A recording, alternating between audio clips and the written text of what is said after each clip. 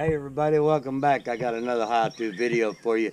For all you people that got your uh, 90s model uh, XJ Jeep Cherokees uh, or anything with this 4.0 liter uh, straight six, the uh, with the throttle body, uh, a couple of things I found out.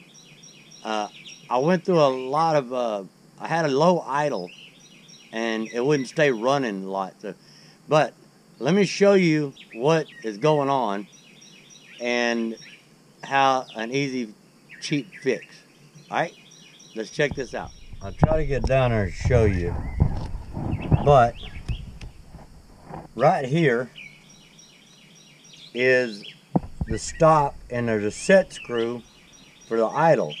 But the screw head is from the bottom up meaning to adjust it, you would have to take off this uh, throttle body. I'm going to show you my easy, uh, cheap fix for that. Well, you don't have to take it off. What we're going to do, we're going to try to put this hose clamp around it, but let me show you first. As you see the set screw down there, it comes from the bottom.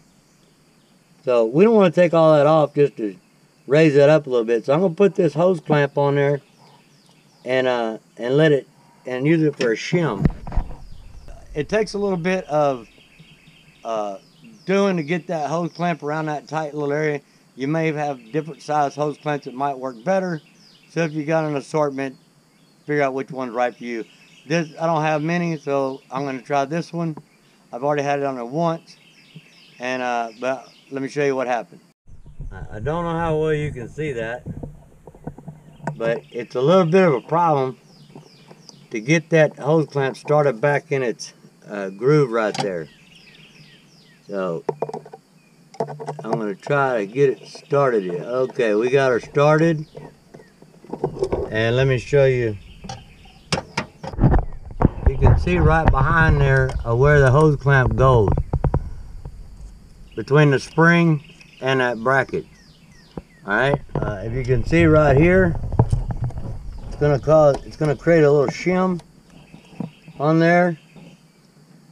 But the trick is, is to get it on there without the rest of the hose, the tail end of the hose clamp right here doubling up and it'll give you too high of an idle. And so that's why I'm redoing this and I decided to shoot a video for it. Because this part right here is actually slipping down on top of the screw, between the screw and the bracket and caused me a high idle at times. So I'm gonna try to fix that.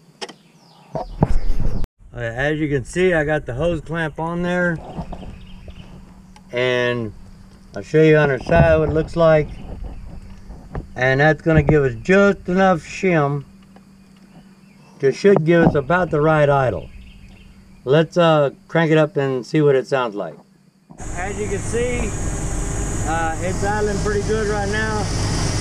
But, and, uh, but if this is not really tight, it's better, even better if you can move that up as far as you can. Keep any overlap from getting in between the screw. You don't want, you don't want two uh, thicknesses of that hose clamp between there. It'll be way too high. Anyway, that's a quick fix to, uh, you got a really low idle. You need to adjust it up some and you don't want to take all that stuff apart. You can use a shim like that, hose clamp, whatever, but you could do it on the side of the road if you had to, if you got one extra or you got one in your rig, uh, whatever you're doing. Uh, anyway, uh, just trying to share my tips with you. This is a free range nomad. You never know what's going to happen next. See you.